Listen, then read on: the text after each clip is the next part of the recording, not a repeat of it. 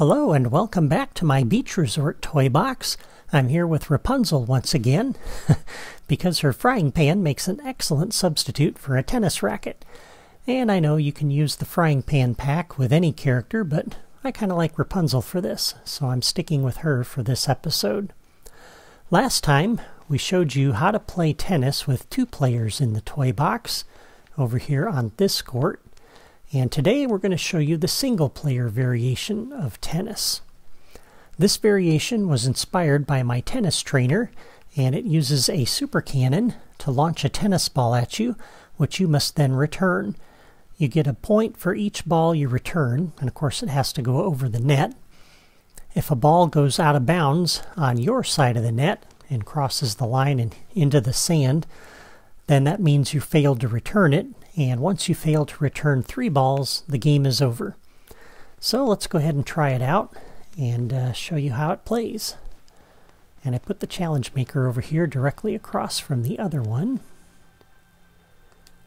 And here we go.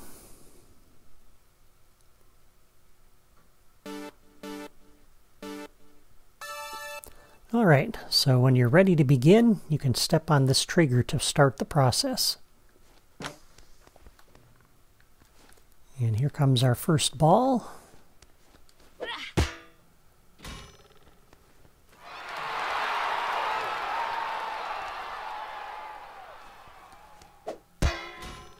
that was a good hit.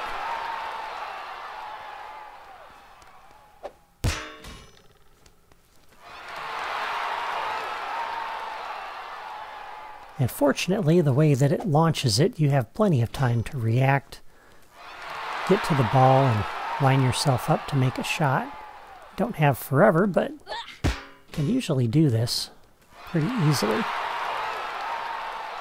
And if you're watching this and you're thinking, gosh, this is looking like it's ridiculously easy, when we get to the build exercise, I'm going to show you an alternate set of settings that will make this almost impossible to play super, super difficult. And in that configuration, I've actually only ever returned it one time. so if you want a real challenge, there's another way to do this, but... Oh no! ah! Oh no! this isn't good. Ah! Oh! now we're in trouble. Get up, get up! I don't know if I can get there in time. Ah. There we go. That's the other part of this that makes it a challenge. That's why you don't play too close to the net, either on this version or the previous one, because uh, that can happen. So.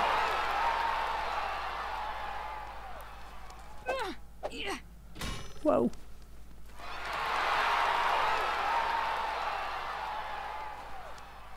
And the further you stay back anyway, the better chance you have of getting into position getting your shot lined up.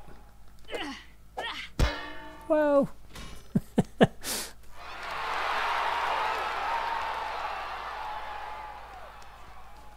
oh no!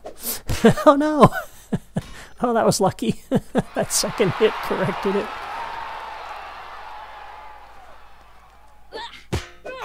Ah, that one went out of bounds. Oh no, I gotta get back over here. Oh no! get up, get up, get up! Whoa. Ah.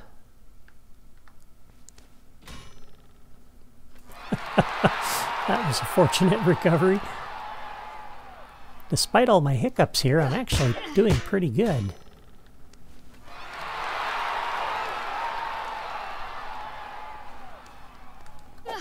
I've only made it past 20 one other time.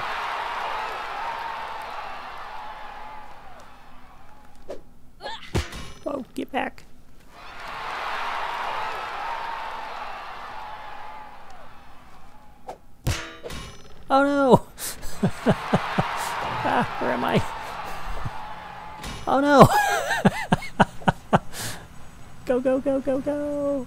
Miss those things!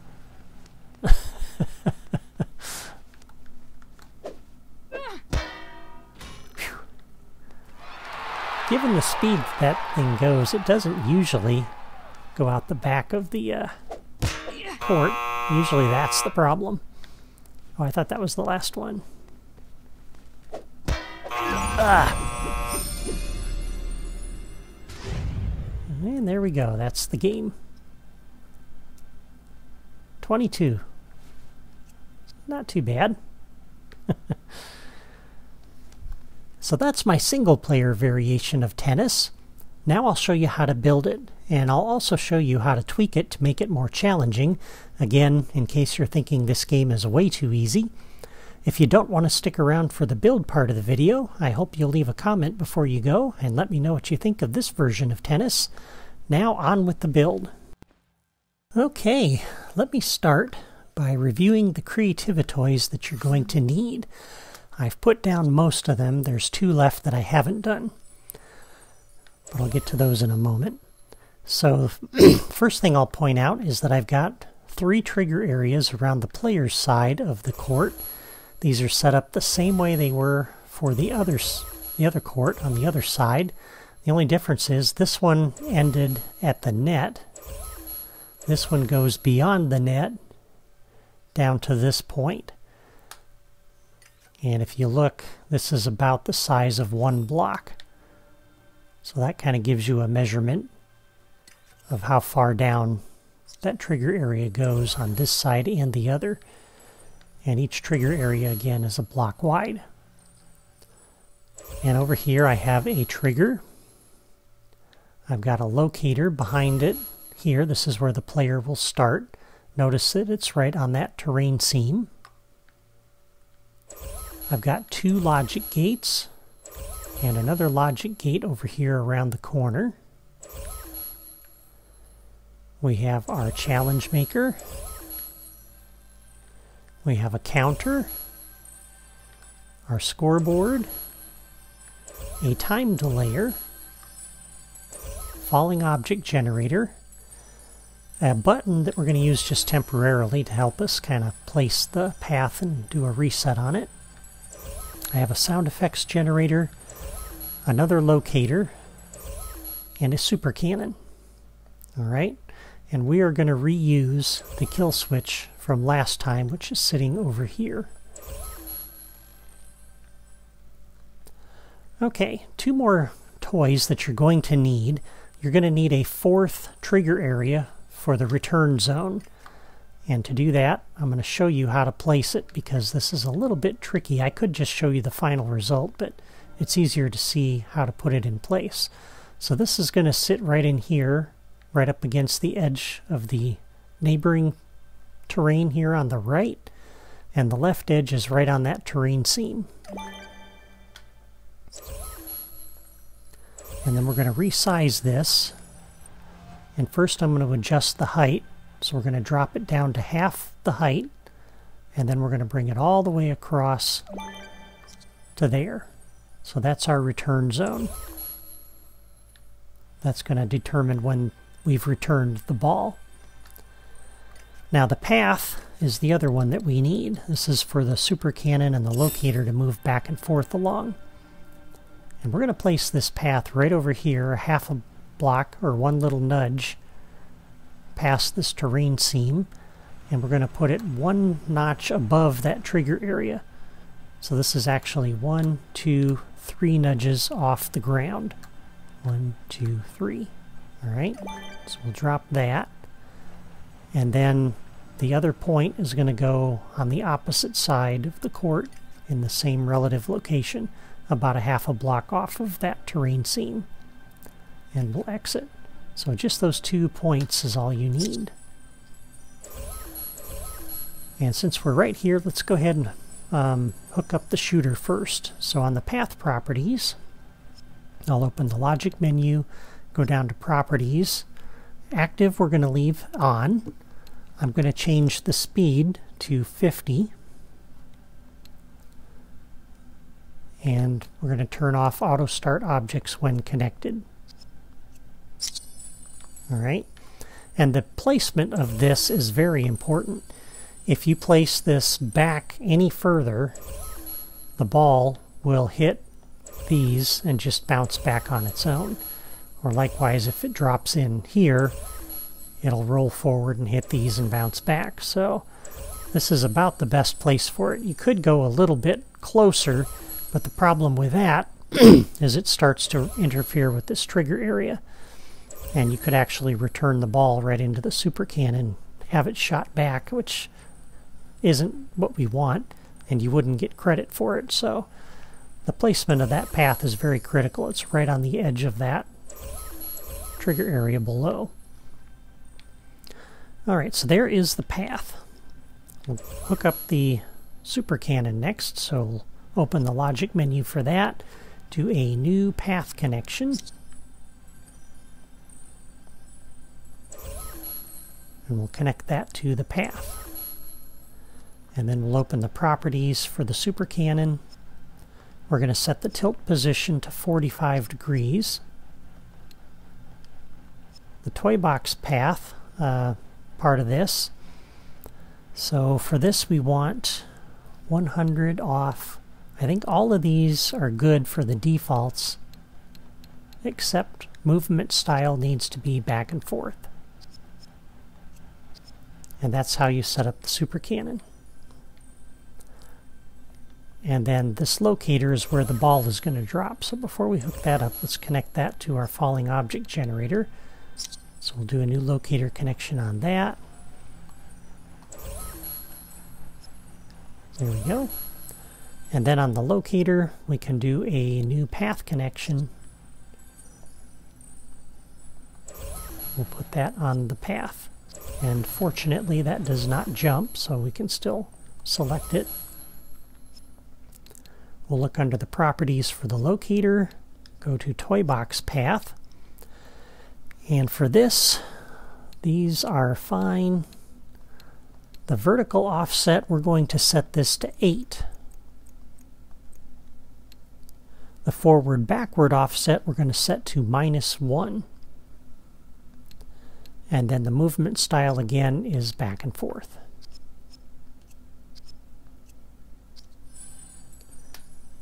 And then, uh, oops, let's go ahead and hook this button up and then we can use that to reset the path and see what it looks like. So new logic connection when pressed, come to the path and do a reset and stop. And then we can push the button and see what it looks like.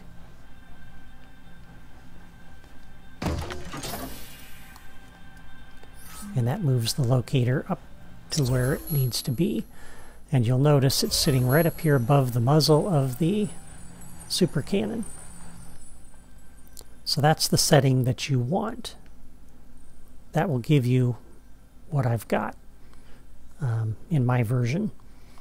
And when we get to the end, I'm going to tweak this and show you the other configuration. But for right now, let's leave it like that. All right, so there is the shooter, and that's uh, going to move back and forth along the path. All right. To begin this whole process, the player will step on this trigger. And I could have just had the um, challenge maker automatically start it, but I kind of wanted to give the player a moment to collect themselves and get into position and ready to go. And they might want to wait for the super cannon to get to the middle, perhaps before they start it. So that's what this does and the trigger because I only want to do this one time at the very beginning. That's why we have the logic gates here. So on the trigger, we're going to do a new logic connection when stepped on by player any. We're going to input into this gate. And I only want to do this, again, one time. And so I don't want to do it when the game is not active. So we're going to come to the level starter over here that we put down last time. And we're going to do a new logic connection on catalyze. I'm going to come over to the logic gate and close it. What that means is that the challenge maker will need to start that. We'll need to open it when the game starts and close it when the game ends. So on the challenge maker, we'll do a new logic connection on invites accepted. Come to the logic gate and open it. And on the challenge maker, a new logic connection when the game is ended.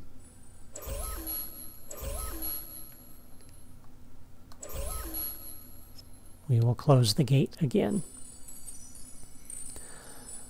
So that keeps the gate, the button here from working when you're not in a game. But again, we only want to do this the first ball when you first start it.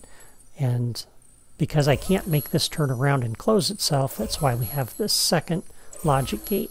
So on output from this gate, we'll come over to this gate and input. And on this gate, new logic connection on output, turn around and close that gate. So it'll only happen one time. All right. So the logic gate then, the other thing this needs to do is a new logic connection on output. We're going over to the falling object generator and we'll have it generate the tennis ball and that will put it at the locator position. It'll then drop into the super cannon and get launched. Alright, so that takes care of the launching of the ball. Now scoring, uh, once again, is going to be handled by this one. Going out of bounds is going to be handled by these. So let's do the scoring first.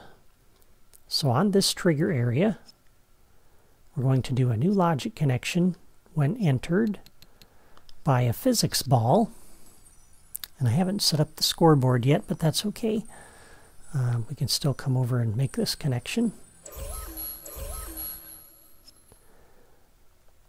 We are going to increment by one the score for player one.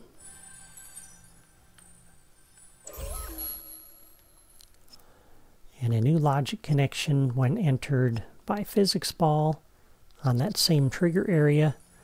I'd like to play a sound to let the player know that uh, they succeeded. So we're going to come over to our sound effect generator, go to vocal and cheering. And we don't have stadium stands here, but that'll give us the cheering, which will be kind of nice. On this trigger area, a new logic connection when entered by physics ball. The next thing I want to do is come over to the kill switch and defeat that ball. That'll remove it. And then we need to generate a new ball. So one last thing on this trigger area. New logic connection when entered by a physics ball. We're going to generate the new ball. And I could come over directly to this but that's going to be kind of quick. What I've discovered is it's a little bit better to give the player a moment to uh, position themselves and get ready before the next one launches. So we'll do a start delay and then new logic connection on delay completed. Then we'll generate the next tennis ball. And the one second delay here is fine. You don't need a big delay it's just you don't want to see the ball immediately vanish and the next one immediately start coming over.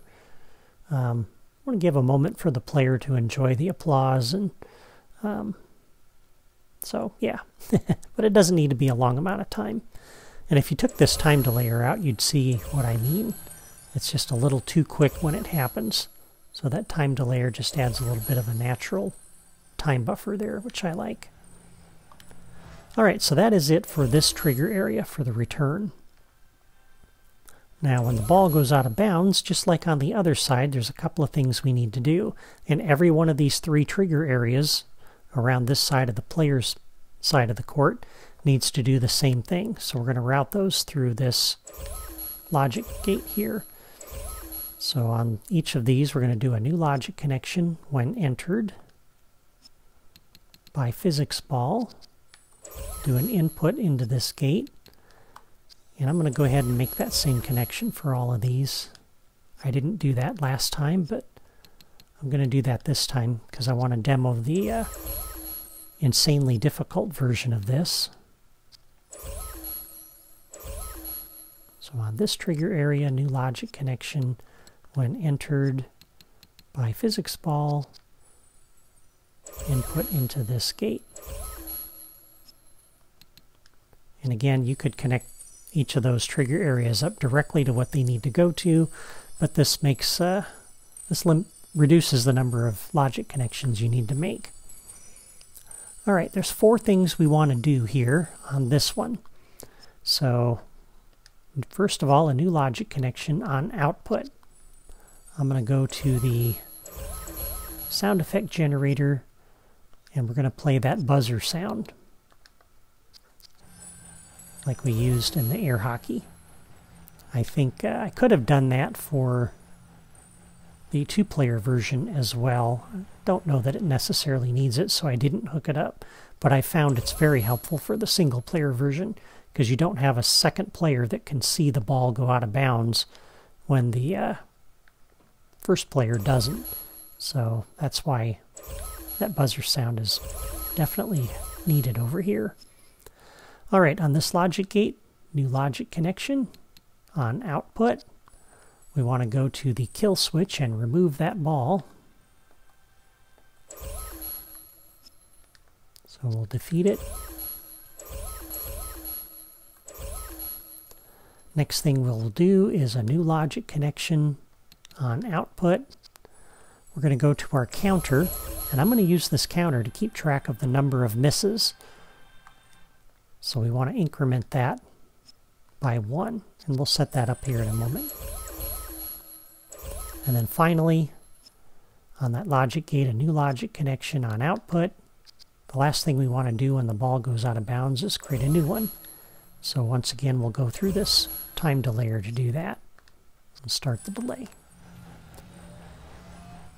All right, and that takes care of the ball going out of bounds. So we've got the ball getting shot, we've got the ball being returned, we've got the ball going out of bounds. The last thing we need is the logic for the game structure itself. So let's go over to the challenge maker. And if you look at the properties, we're going to be using all of the default properties here. So you don't need to change anything except you might want to change challenge type to start on foot, but that's not really necessary. And then we'll do a new locator connection on the challenge maker. We'll connect up to this locator over here. That's where the player is going to start.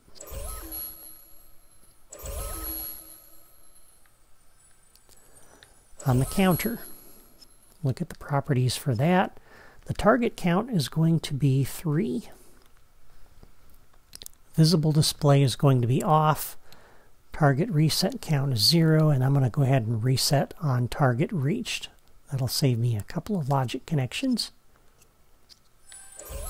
And on the scoreboard, under the properties for that, we'll set the play to to the maximum number I can set it, which is 9,999. Leave that off, and those will be the defaults, which is fine. And of course on the sound effect generator, we want to make sure we turn off 3D sound at speaker or locator. All right, so that's all the properties. Now let's hook everything up. So on the challenge maker, new logic connection, we'll do the scoreboard first. You can probably do this in your sleep by now because this is all the same for every game. New logic connection when started.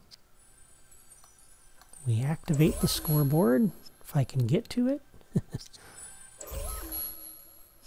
there is one more thing we got to do with this, though. I'll show you that in a moment. On game ended, we want to remove the display. And then when the results are closed, deactivate it. Again, we will link it for the score results.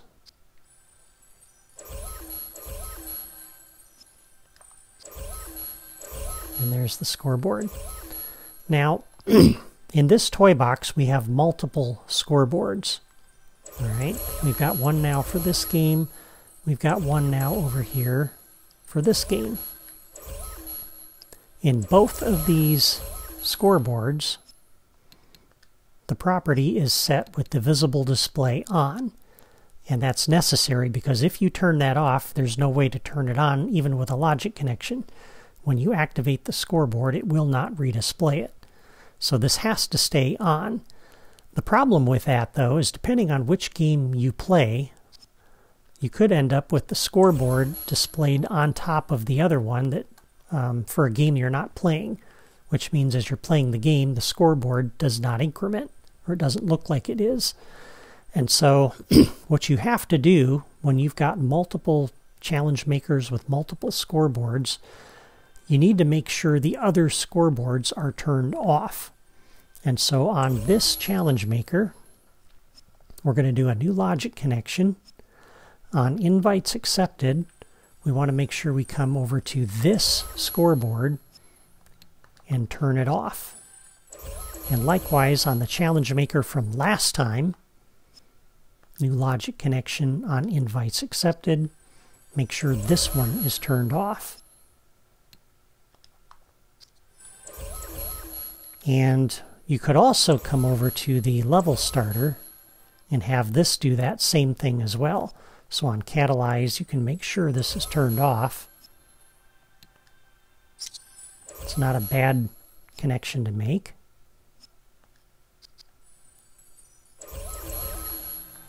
make sure both scoreboards are not turned are not visible. Excuse me. That works when player 1 first comes into the toy box. As soon as you bring player 2 into the toy box, what I've noticed is, is the scoreboards become visible again. so that's why I'm having the challenge makers hide those when you start. So we're going to make sure we hide every other scoreboard that we're using we only want to see the one for our particular challenge. So that's important to point out because a lot of times you don't have multiple scoreboards in a single toy box, but in this case we do. All right, let's set up the counter next. So on the challenge maker, a new logic connection. On invites accepted, we want to reset the counter.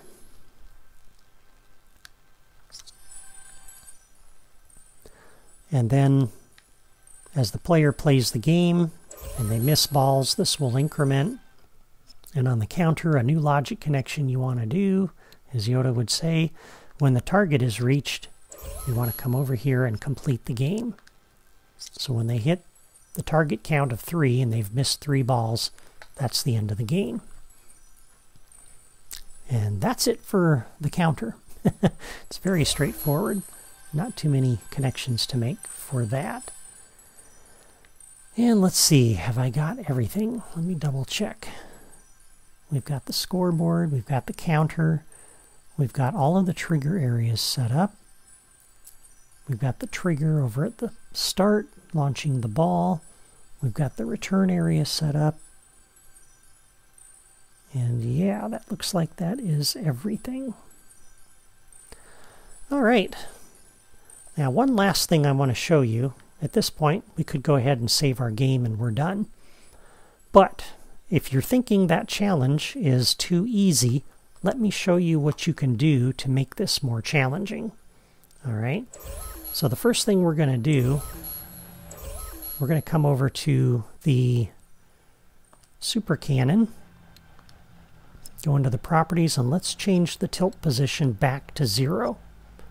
So now the ball is not going to be lobbed up in the air. It's going to come out of that thing like a bullet. All right? and that means we got to change the position of this too, this locator, so that the ball drops into the right place.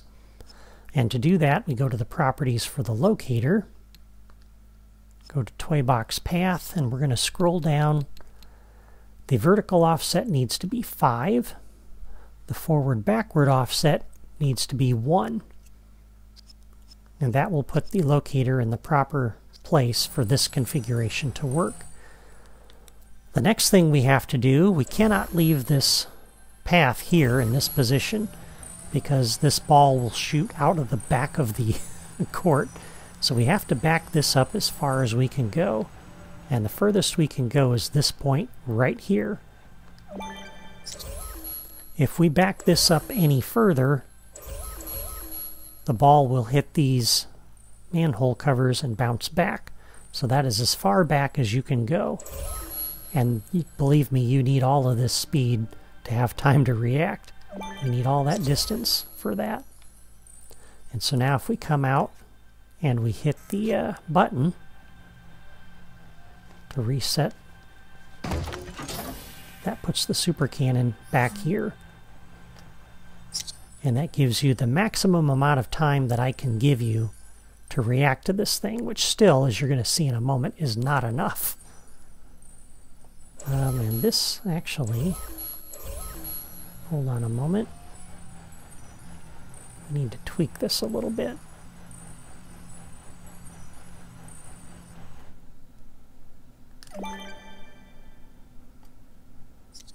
I'm going to rotate this. I think that's my problem. Because that was offset, actually.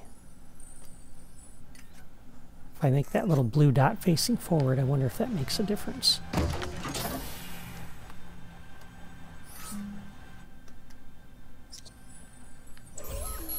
It does not. Alright, so we need to tweak this. Properties, toy box path. So it may not be forward backward offset, it might be horizontal offset. Let's try that. Got to make sure that's centered right over the super cannon. Both um,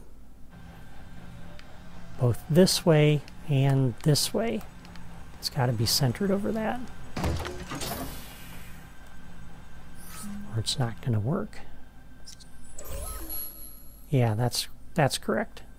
All right. And uh, that might be true for the uh, other configuration as well. I have to go back and double check that. But anyway, there we go.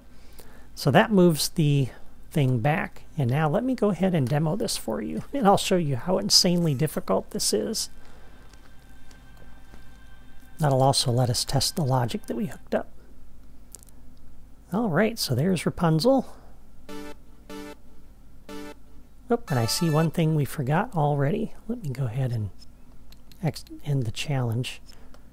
Yes, I forgot to hook the challenge maker up to the path.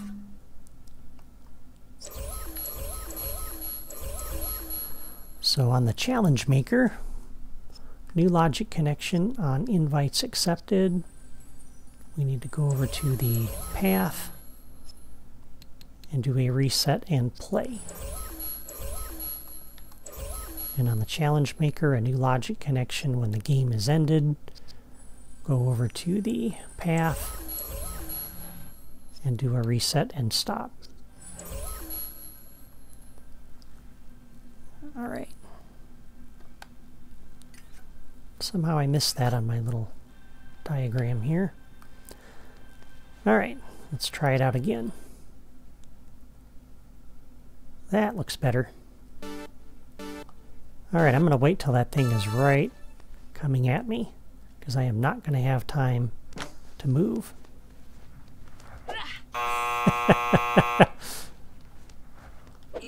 ah.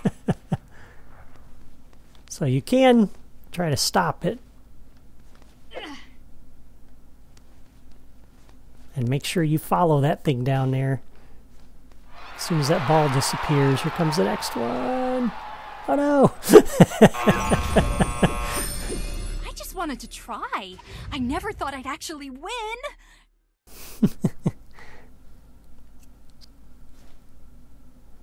yeah, if you want a challenge, try that configuration. And see uh, how that works for you.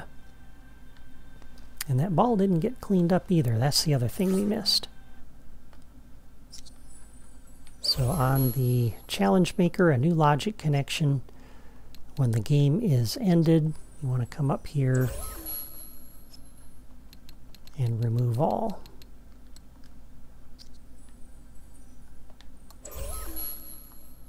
And um, just to be safe, We'll do the same thing on results closed.